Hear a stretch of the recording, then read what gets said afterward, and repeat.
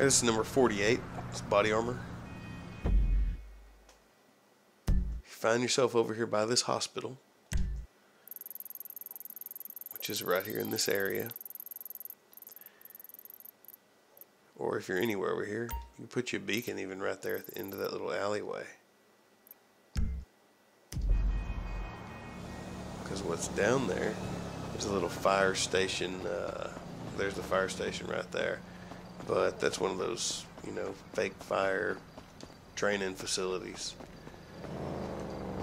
And right here in the doorway is a brand new armor. Appreciate you guys. Number 48 body armor.